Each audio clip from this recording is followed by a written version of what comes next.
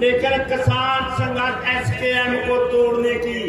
उनका जो प्रयास था फेल हुआ। बड़ी चर्चा हुई है कि किसान एसकेएम खेड़ गया। पार्टी वोटों में चले गए। किसी ने अलग कोई मोर्चा बना लिया। एक एसकेएम एक बड़ा दरिया है। इसमें से दो बूंदे इधर चली गई, चार बूंदे इधर चली गई। इस बात से कोई फ़र्क पड़ने वाला नहीं है। ये संयुक्त मोर्चा काम है। ये उसको लड़क रहा है। दो हज़ार चौबीस की इलेक्शन आ रही है। इससे पहले पहले इसको तोड़ दे और वो नीतियाँ लागू कर दे जो कारपोरेट के पक्ष में जाती है। वो फिल्कू पत्ता चलाने से अभी बाज नहीं आया।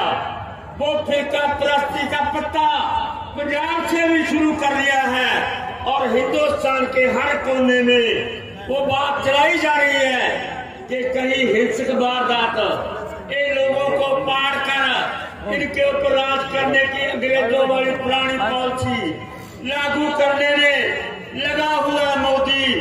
इसलिए ये मोर्चा उसको लड़क रहा है, क्योंकि 24 में सत्ता हटाने के लिए वो नीतियाँ लागू करनी है जिसने कारपोरेट मुनाफे बढ़ने हैं। वो चाहे विद्या का क्षेत्र हो, वो चाहे सेठ खिलौना हो, वो चाहे रेलवे हो, वो चाहे हवाई जहाज़ हो, चाहे कोले के अखाना हो, उसके ऊपर कब्जा कला करके उनके मुनाफे में वादा करना है। जो तक बात जा रही है, जहाँ तक बात आई हुई है कि पंजाब और हिंदुस्तान के पहाड़ियों के ऊपर भी कारपोरेट का कब्जा कराने की बात चला रखी है।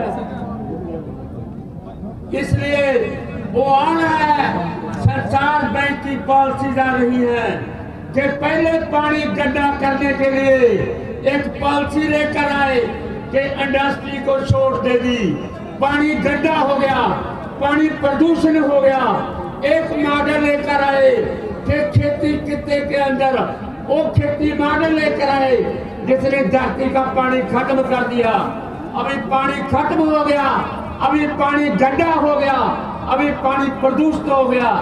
इस बहाने से संसार की हिदायतों के ऊपर, पानिया के ऊपर कारपोरेट का कब्जा करा के गंदे पानी को साफ़ करके आपको बेचना है। आपकी खेती के ऊपर कब्जा करना है।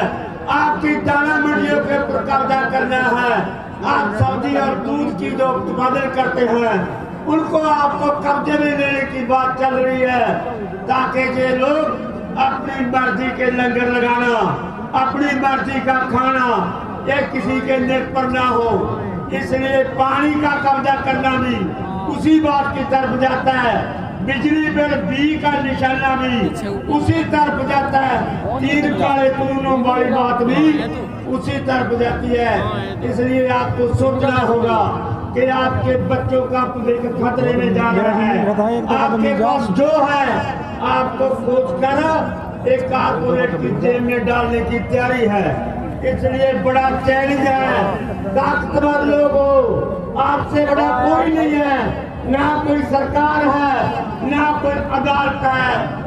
जहाँ पर आप सिर जोड़ लेते हैं, आपसे बड़ी कोई ताकत नहीं रहती। इसके लिए मोदी हुकूमत की फिरका प्लास्टिक के पत्ते को आप समझो कि वो नीति क्या करने जा रहा है। ये मोदी मोदी नहीं है, इसके पीछे बड़ी ताकत है।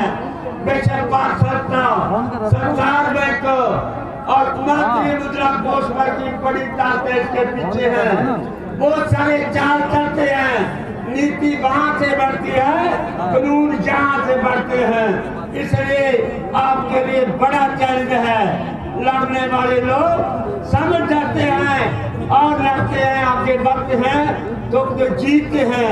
हम दावे से कह सकते हैं कि हम जीतेंगे और कट्ठे जीतेंगे और हरियाणा पंजाब यूपी का और किसी भी किसान संस्था का किसी फिरके के नाम पर किसी नहर के नाम पर, किसी राजधानी के नाम पर, हम फूट नहीं पड़ने देंगे।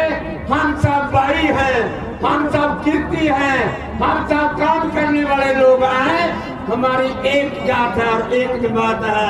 ये ये करा के चले गए और जीतेंगे तुम्हारा बहुत बहुत धन्यवाद।